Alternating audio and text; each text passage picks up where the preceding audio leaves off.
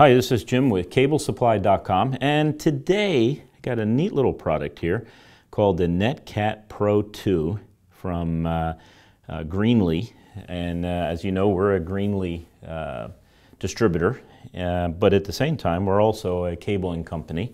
We've been cabling for over 25 years, and we've had numerous tests equipment um, that uh, test different, you know, cable lengths, test the, the quality of the cable, and if we pinned it out right. You know, before we start, let's talk a little bit about testing. Uh, I have a philosophy here that I tell all my uh, technicians that somehow the electronics in the wall, in the cable, in the patch panel, and in the jack uh, really understand and they know that when you don't test something, it will not work. So uh, it's for sure that if you do not test every single pull uh, when you're cabling for voice or data, um, that you will have go backs. And go backs affect your credibility and um, your integrity. Uh, people say, well, you finished the job and now I plugged in, it didn't work. And of course, it's not fair to the IT staff. If you're a cabler, uh, they're trying to troubleshoot a problem and they think your cabling is fine, but they find out, uh, or they're working on their equipment and they find out later that it's not their equipment, it's a, um, a cross pair uh, at your jack. And boy, I don't, I don't know, you know, you spend, uh, those IT guys that don't do cabling every day can spend a couple hours uh, researching a problem and, and full of frustration, and of course they have bosses too. So you want to test every single cable pull. I know some cable companies out there will uh, say, well, we test one in five. That's not good enough. You need to test every single cable pull. And in 25 years, I've not gone back once on a, um, a cabling job uh, that a jack was uh, not working unless it was damaged by the customer or someone else. So I've never gone back. And go backs cost a lot of money. So you really want a a, a piece of test equipment, and uh, of course this NetCat Pro 2 is an excellent piece of test equipment, and, and uh, Greenlee has put out different handheld test devices, as you see here, uh, over the years, and, and we have had many, many models, and this is a fine model. Does a lot of cool things, a lot of neat things that uh, you should have if you're a cabler. Um, and uh, you should be, as I said before, you should be testing every single cable because if there's if you did 10 cable pulls and you only test nine, I guarantee that one you missed that you didn't test, that'll be the one you'll be doing go backs on. It'll hurt your credibility and it will hurt your profitability. It only takes a second to test. And uh, over the years, I've seen different testers. You know, we used to have a five, six thousand dollar tester uh, called a Microscan, I believe it was. Um, and wow, it did all sorts of wonderful things that were really impressive to people that didn't know anything about cabling. Um, but it also did some other things too. You could print reports and things like that. And, and a couple years back, 5, 10, 15 years ago, customers really wanted those reports on every single cable pull you pulled. Um, you know, that showed all, you know, near end, far end, crosstalk and all that. And that's fine. There's some customers that still would like that. Uh, the vast majority of customers, especially in small business, they just want the thing to work. So if you can prove that it works and that the cabling is right and the wire map is right, they don't care about whether you can produce a piece of paper that, that certifies that it's right. Plus that document often would cost some money because you'd have to store it in your tester, you had to go back, you'd have to print it, and then you had to deliver it. So there was extra labor involved. And and I see more and more of the industry getting away from that type of documentation in, in most applications. Not all, but in most. Uh, also, if you're unscrupulous, you could just test one jack, say it was absolutely great, and just rename the document each time you printed it for different customers. Um, and people caught on to that also. So if you're an ethical tester, you'll test every single, or I should say, if you're an ethical uh, cable uh, installer, you will test every single cable you install and you'll make sure it works and you won't have any go backs. And this is a great little tester. I really like it. Some of the things I like about it just on the, the start is the fact that it has this nice uh, rubbery type of um, tough, I don't know what it is, plastic, some sort of thing. It has a little bit of give to it. It's easy to handle. You can really hold on to it and it really uh, is fantastic. It, it, it, runs on a 9 volt battery in the back. It's a touchscreen, so it has one of these little cool things. Now, in uh, using this tester, I don't use the uh, little mouse, but you can. Um, but you can also just use your, your hand on the touchscreen and, and do as you wish. Um, but I like the, also the shape. And when they're perfectly square, it creates a problem for me. And I'll tell you what the problem is. Is I usually put my tester back in the uh, room where I have, um, you know, the data racks, the relay racks, uh, where the patch panel is.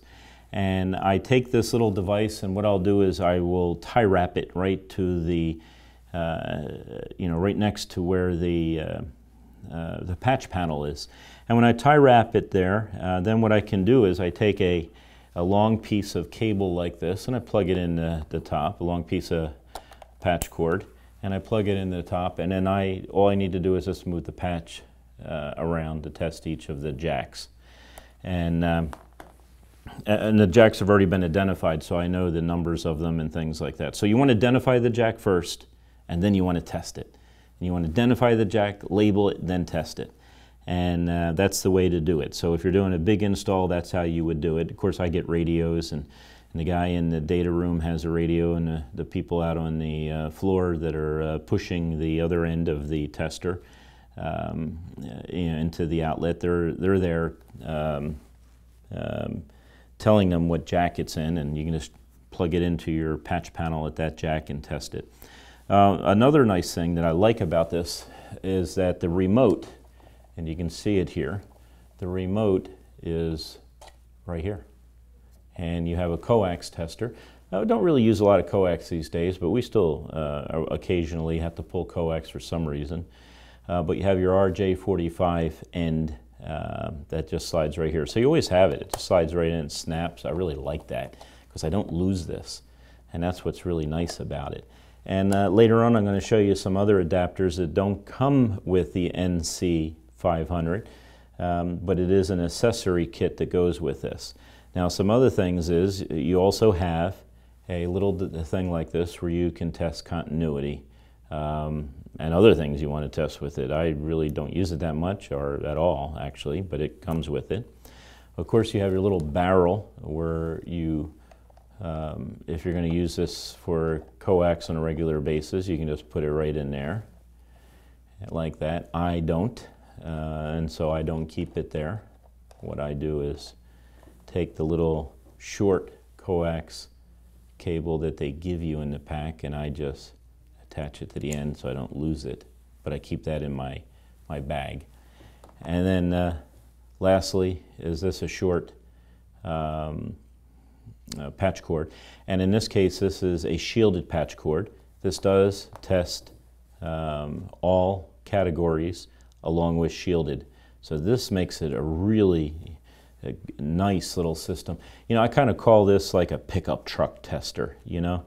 It's like you can do so many things with it and, uh, and, and it tests so many things. It's, it's really fantastic. So uh, let's start looking at some of the things it tests. It uh, obviously has a touchscreen display and it has contrast uh, adjustment with backlight. Uh, it tests shielded pair, um, uh, they call it STP, shielded twisted pair, plus unshielded twisted pair or coax. So there's nothing else out there besides those three. And most of the times it's unshielded twisted pair, but some of the new categories are going to have um, a shielded twisted pair. So as you go higher up in the category range, Cat 7, Cat 8, things like that, you're going to see uh, shielded twisted pair. Um, it has a uh, tone generator, which is really cool. Um, has four different tones in that tone generator. And um, also it, it can test cables from zero to 2,000 foot. Now rarely you're going to run across a 2,000 foot cable. But just as a side note, you might find this interesting. I worked for a uh, professional person that you would know that her name is on TV all the time and all. And she bought this mansion here in Southern California. It was huge. And when I pulled a telephone cable from the telephone room out to the furthest phone in her mansion, it was close to a thousand foot. A whole box of cable for a telephone. And some of the older telephone systems, digital, analog, can go that far, uh, 1,000 foot. Of course, uh, voice over IP, you're talking about 100 meters, which is a little over 300 feet.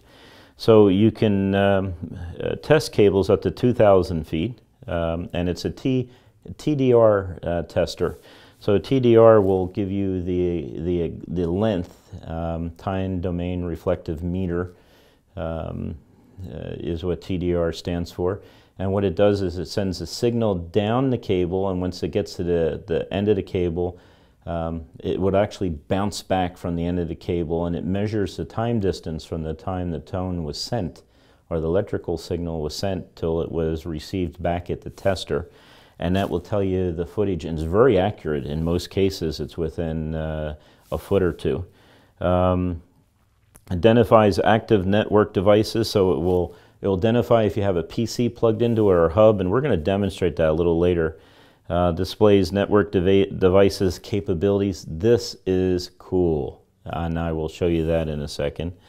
Um, it can test patch cables, um, and plus it will give you a wire map. So it'll tell you if it's cross-paired, if you have it pinned out wrong. I mean, this is really fantastic tester. This is like everything you need as a cable guy. Uh, detects opens and shorts and reversed and cross pairs and split pairs.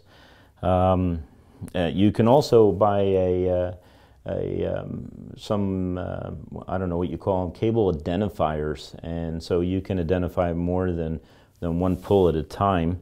And I'm gonna I'll show you that and how that works. Um, it's it's also compatible with uh, different um, um, uh, tone uh, probes that you use in the industry. So you really don't even need a toner anymore. You just need the probe, which is kind of cool. Saves you an extra carrying something else. But let's demonstrate this, okay? So the first thing I'm to do is I'm going to hold this button down. You got to hold down for two seconds, and you'll get the G, and then you'll get all the the uh, the, th the, things on the screen, so you can see them at that point. Um, multi-pair test, uh, that's for your RJ45s. Uh, one pair tester, coax test, that's, that's going to be for your coax cable, things like that. And then tracing tone. So it's, and plus that setup, you can, you know, contrast, things like that. Um, languages, so, you know, for our French friends uh, in France or up in Canada, A, you can have it in French, right? A. So anyway, um, let's see, let's do tone. Tone's kind of cool. So you have four different tones, and if you want to hear them, this is what they sound like.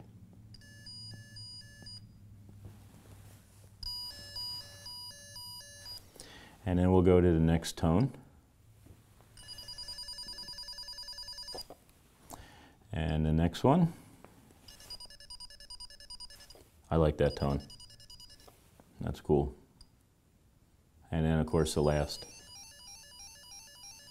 It's nice to have different pairs for, I mean, different tones. And, and one of the reasons why that's nice is sometimes you have some sort of noise on the line or you get noise in the room and you really need something that's distinctive. Or if numerous people are um, toning things out, sometimes uh, have different tones uh, than someone else is toning another cable, it makes it nice because you're not going to accidentally uh, mislabel. So let's go back just push this and it goes back. And of course these instructions and uh, how these things are used and all, uh, we do have a PDF that's going to, it's on our website that you can look up and you have an instruction manual and how things work and everything else. And the one pair, I'm not even going to demonstrate the one pair, you just push it and it tells you whether it works. But here's a multi-pair tester and this is kind of cool. That's kind of a cool test. That's for your RJ45s, that's 99% of the time you're going to be working with the uh, uh, that right here. And I'm going to press on it, hold it two seconds, let it go, and it comes up. It's testing, testing, and it shows nothing is attached. They're all zero foot away. So I want to demonstrate that. Now, first what I'm going to do is I'm going to demonstrate using an old patch cord that I have in the back. So I'm going to pull this off. And I got this old patch cord here. You see it? We have a whole box full of old patch cords. And I'm going to plug it in to the remote. And then I'm going to plug it in to the top of the tester. Then I'm going to tell it and if I can get this right, get the, the light on there, I'm going to retest. I hit the circle with the arrow on it, it's going to retest. It's going to come up with, da-da-da-da, look at that, one to one, two to two, three to three, it's a straight through. And it's uh, 13, oh, one of them said 14, I don't know why. It might be on the edge of 13 or 14, but it, as you see, it also says ID number one. And what that is, is this tester um, is called number one. So uh, with this tester here, uh, it's, a, it's the number one tester. It fits in the bottom of the case. You can get other uh, testers on the accessory kit that um, will identify number two, number three, number four, number five, things like that. Now, as I was looking for that patch cord in our wonderful supply of patch cords that just about every IT department has in America, a big box, you should probably throw them out, but I don't. I came across this cable, it looks really nice. It has a beautiful cable, it has that nice little 15 foot label that someone put on there. Of course, I don't like it because it doesn't have a jacket. Uh, I'm a jacket prone person so let's plug this in and let's give this a test. And I'm going to show you something here that when I tested this in rehearsal, I said, ah, what's going on? And yet I may, uh, after I'm done with this test, this is going to go in the trash. And you'll see why. So I'm going to test it. This is not a good patch cord. Looks good. Doesn't work. Look at it. Only two pairs. That's a 10 base T patch cord. It only works on 10 base T. It won't work on anything. Actually, I don't, I don't know. I wouldn't even use it for anything uh, because of that. But if you notice, it says 14 foot uh, away. Again, that TDR meter is, um, is, is really useful. Um, I remember a couple of years ago with our team, we would guess at how long a run is, and we'd put our TDM meter on it, and whoever was uh, consistently closest uh, uh, got a free uh, ice cream at McDonald's that night on the way home. But anyway, that's, um, that's, a, that's a patch cord you do not want to keep. You want to throw that thing out because it will not work with uh, 100 base T, 1000 base T, you know, cat, the other categories of, of installations. So you want to throw that patch cord out. But it is a cool thing, and it really does show you really neat stuff. So uh, let's look at uh, let's look at how it reacts when you plug it into a switch because you're going to find this really interesting. Now one of the things is, remember it has hub detect and what that means is if you plug it into the wall and, and that patch panel is patched into a, um, that circuit on the patch panel is patched into a switch, well this will identify that. Now the first thing it will identify or it will also show you is if it's a PoE switch, power over Ethernet, and that's important because sometimes you got a you got a um, uh, a VoIP phone that's powered over Ethernet or a Wi-Fi uh, unit that's in the ceiling and it gets its power from a, a PoE uh, switch. Well, not every port on some PoE sw uh, switches are are power, or and sometimes you can even program on the Cisco switches. You can program for no power on certain ports on that switch. And so you want to be able to identify whether or not it's getting power. Now the next thing it's going to do is it's going to tell you from the jack to the switch, you know, what category it will support. So what we're going to do is I'm going to plug in a, a really small uh, uh, Netgear um, switch and let's see how that acts.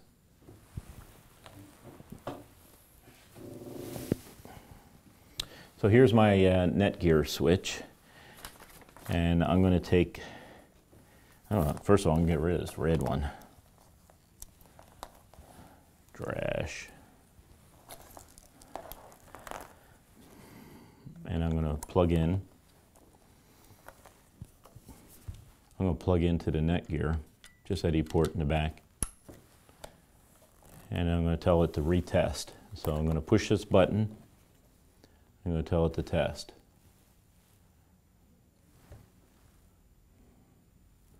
And it's kind of cool. You see it? It not only tests, it identified the fact that there was a switch there. And it said this switch is this switch and cable arrangement is good for uh, 10 base T, uh, half duplex, 10 base T full duplex, that's what the FD stands for, and then 100 base T uh, full duplex also, but it does not support 1000 base T. And um, if you look on the bottom of the switch, it says, wow, look at that, 10 base T, and if I can get it right, 10 base T and 100 base T. So uh, it will actually prove to your customer, uh, or if you're the customer, it will prove to you that this is a, a properly cabled jack and that it will support um, you know, the categories um, uh, that are uh, checkmarked on the right there. So uh, that is really a fantastic tool. I have not seen that in an inexpensive tester. Again, anything under uh, you know like $500 is considered an inexpensive tester. And as a contractor, I do not want to put my five, six thousand, eight thousand dollar tester in the back of a one of my trucks and have it bounce down the road and have it left somewhere or everything else. So this type of tester uh, is going to fit 99% of your needs, and it's just really a fantastic tester. Now the next thing I'm going to show you is I'm going to show you its accessory kit that goes with it. And uh, by the way, it also has a timeout that if it doesn't see any changes uh, to its, uh, what it's doing, its testing, everything else, it will time out and you can set that up in settings in the main menu, uh, how long you want it before it, it, it's, it uh, times out. And there you go with that module. I like that nice snap, it's positive, it isn't going to fall out. So let's try that again. Here's the module. Here's the module. So I'm going to put it in just like this. And hear that snap? I like that snap. It means it's not going to fall out. And it has battery save, so that screen's going to go out in a few minutes if you don't press it. Nice thing too is if you press the screen, you can make variations to all this, and, and sometimes the variations, uh, you just want to go back to the factory default. So what you do is you just hold the button down here, is this button here. You just hold down for five seconds and it goes back to factory default. Okay, so here we are, we got a switch here. And what I'm, what I'm going to do is I'm going to show you a real life test with a regular Cisco switch. And uh, this is an older one, so I think it's 10 base 100 um, or 10 100 uh, base T. So we'll just see what it is. But again, you hold down the, the button for two seconds, get the big G. You hold down multi-pair testing for two seconds, let go. Hold down multi-pair testing for two seconds.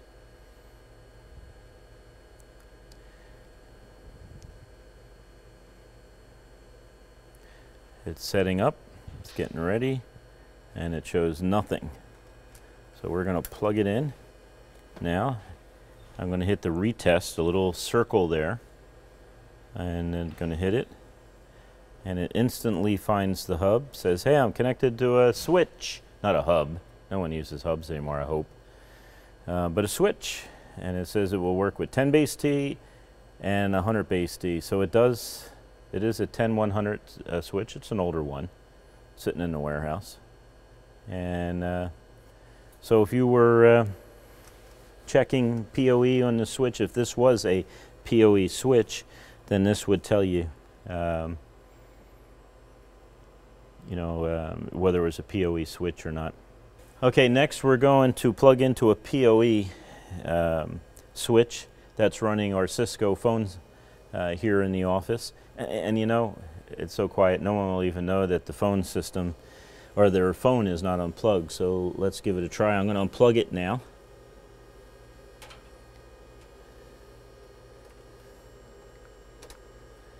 And we're going to plug it in, and immediately it says PoE, but we're going to run a test. Hey, who turned off my phone? Uh, we'll plug it back in. And as you can see, it says PoE. And it's, uh, again, uh, maximum is 100 uh, uh, base T. With PoE. And we'll plug in their phone. These, this is what comes in the, um, in the kit uh, or in the, the system when you buy it. It's going to come like this. Doesn't have a carry case. Doesn't have anything else. It just that's it. You have to have your own carry case. But leave it to, uh, to uh, Greenlee, actually thought this through, which is a great idea. They actually came up with, ta-da, a carrying case. So you can take your tester, remember these are two separate devices now, the carrying case and the tester, and you can slide your tester right in there, just like this, and it protects it. Let me turn this off. And um, so uh, that's the case. You can put all your stuff in there. I like buying a, a, short patch cord, a bright color, and also putting it in there because then I can use it down there or I can use it up here when I'm, when I'm at the um, patch panel. But anyway, what's nice about this is you have these things in here, and these are identifiers. And notice on the identifier, if I can get it at the right angle, it says 2. So remember, this is 1, and now this is 2. And it has uh, 3, 4, 5, I'm going back and forth here, but it goes all the way up to 8. So you can take these identifiers, you can plug them into your jacks uh, all over the place. And uh, then when it's time to identify it, you don't, you know, if you're a one-man job testing, you don't have to go back and forth to, to move your remote. You can just plug this in because it has shielded RJ45 at the end. Also, if you're doing coax and you're in a home and you just plug this in all over the place, you take note as to where number two is, number three is, or whatever else. And so when you're testing, remember we did this before, let's do it again. So when you're testing, the identifier